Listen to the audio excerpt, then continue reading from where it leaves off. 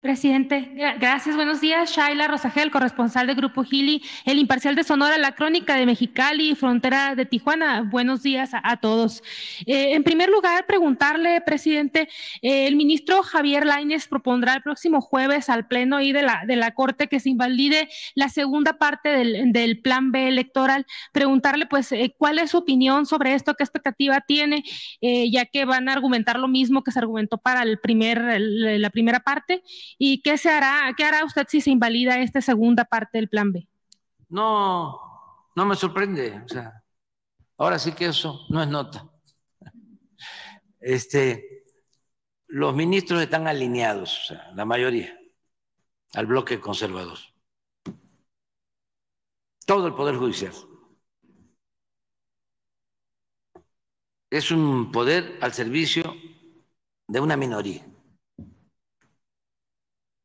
no están al servicio del pueblo. No se imparte justicia.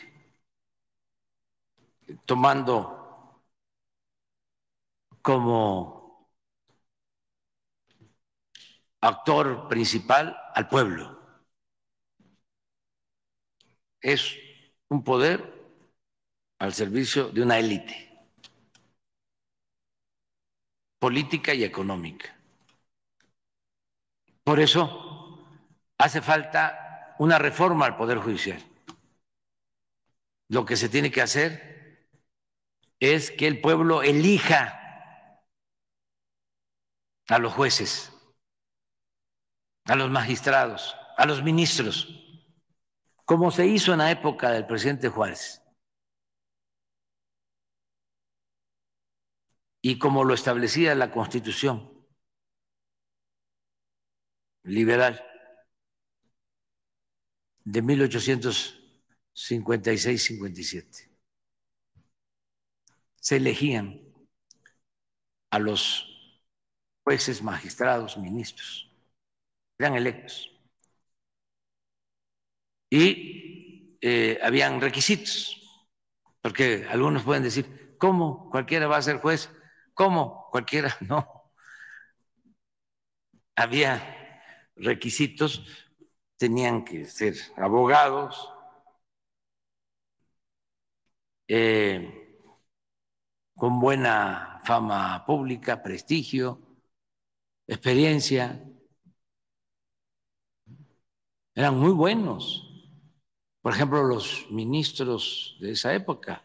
Fue Sebastián Lerdo de Tejada ministro de la Corte y luego presidente. Es el que siendo presidente de la Corte sustituye al presidente Juárez en su fallecimiento, cuando eh, muere el presidente Juárez aquí en Palacio. El presidente de la Corte era Sebastián Lerdo de Tejada y a él le correspondía eh, entrar como sustituto era presidente de la Corte y ministro, posteriormente José María Iglesias, uno de los mejores abogados de México en toda su historia.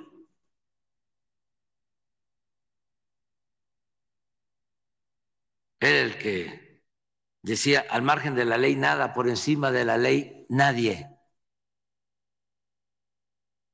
y todos eh, fueron eh, electos.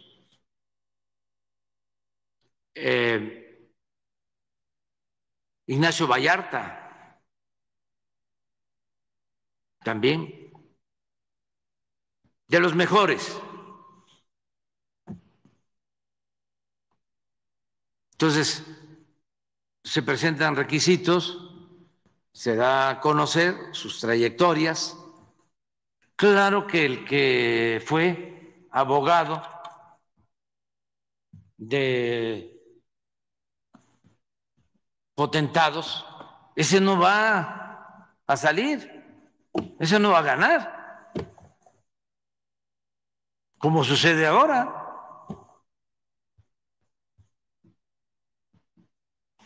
que estuvo vinculado a un partido este, y estuvo avalando fraudes electorales, pues tampoco, ese no va a ser electos, seguramente. Los que estuvieron defendiendo a los potentados para que no pagaran impuestos, pues tampoco. Pero hay muchos abogados, doctores en derecho, que pueden eh, actuar como ministros, gente recta, pero si fue procurador con Salinas de Gortari, ¿lo van a elegir? ¿El pueblo lo va a elegir para que sea ministro? Por eso no quieren. Pero esa iniciativa sí la voy a presentar. Nada más voy a esperar que se integre el nuevo Congreso antes de irme, voy a presentar la iniciativa. Porque no le veo eh, otra salida.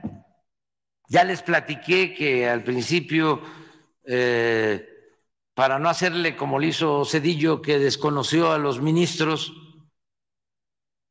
y les dio su compensación, para no hacerle así y no meterme, pensé de que si los que me tocaba proponer eran buenos, que eran cuatro, más uno que simpatizaba con nosotros o simpatiza con nosotros, con el movimiento de transformación, que ese no es un asunto personal, pues íbamos a tener ya una Suprema Corte eh, con auténticos eh, impartidores de justicia, porque son once, ¿no? Cinco y se convencía uno, seis. Ya con ellos se podía llegar a un acuerdo. A ver, ustedes mismos al interior del Poder Judicial lleven a cabo la reforma que hace falta, porque ese Poder Judicial está echado a perder por dos cosas. Primero, porque se perdieron ideales y principios en la abogacía desde la formación de los abogados. Hicieron a un lado todo lo que es el derecho social el derecho agrario, el derecho laboral, y todo fue mercantil, civil, dinero. Bueno, eso por un lado. Lo otro, que cuando transaron PRIPAN con Salinas, les empezaron a entregar al PAN todo el poder judicial, jueces, magistrados, ministros, bueno, hasta la Procuraduría. Lozano Gracia del PAN, procurador en el gobierno del PRI de ese dicho. Fue como moneda de cambio entonces, independientemente de las personas, imagínense cuál es el pensamiento dominante en el Poder Judicial. Pues un pensamiento conservador, elitista, que les va a estar este, interesando hacer justicia en bien del pueblo. Si ellos tienen una formación distinta. Entonces, sí hace falta eh, una transformación, pero que la haga el pueblo, de manera democrática. Ah, porque yo fracasé. Propuse cuatro y dos, este, a la primera se deslindaron y se fueron a acomodarse al bloque conservador. Claro, alegando de que son independientes. Sí, son independientes. Son independientes del pueblo. Presidente, entonces el jueves usted considera que van a invalidar los ministros. Ah, claro, no, no, no, ya. Ya, ya. Ya, lo dio por. Ya lo, sí, ya. Ya, este. Eh, es que ¿Cómo creen ustedes que van a dejar eh, vigente esa ley si ahí se establece que nadie debe de ganar más que el presidente, como lo eh, ordena la Constitución en el artículo 127? Y los ministros son los primeros que violan la Constitución, el artículo 127, porque ganan tres y hasta cuatro veces más que el presidente. Y tienen un fideicomiso de 20 mil millones de pesos para financiarse todos sus excesos servicio médico particular, fondo especial de retiro, trabajadores o trabajadoras domésticas.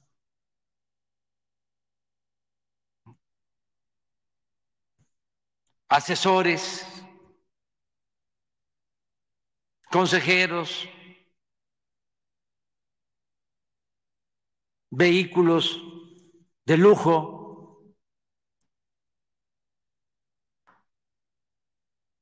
todo con cargo al erario, a costillas del erario,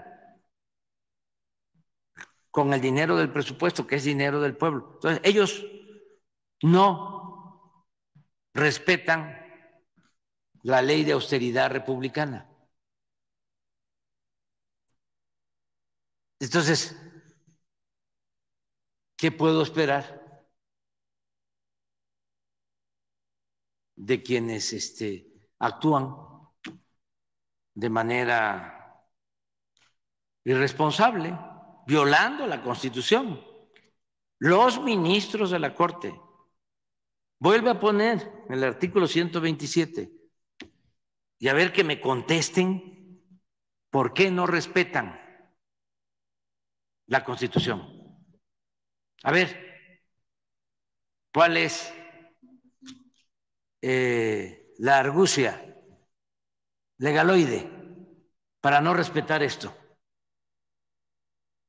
Ningún servidor público podrá recibir remuneración en términos de la fracción anterior por el desempeño de su función, empleo, cargo o comisión mayor a la establecida para el presidente de la República en el presupuesto correspondiente. Y miren la fracción 1. Se considera remuneración o retribución toda percepción en efectivo o en especie, incluyendo dietas, aguinaldos, gratificaciones, premios, recompensas, bonos, estímulos, comisiones, compensaciones y cualquier otra, con excepción de los apoyos a los gastos sujetos a comprobación que sean propios del desarrollo del trabajo y los gastos de viaje en actividades, oficiales. Pues todo esto que dice eh, la fracción 1 del artículo 200, digo, 127. Todo esto significa que yo gano alrededor de 140 mil pesos netos, 140. Y ellos están ganando 600. Si no es que un poco más.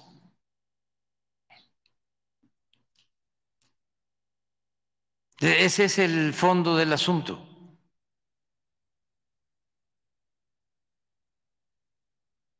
Más otras cosas.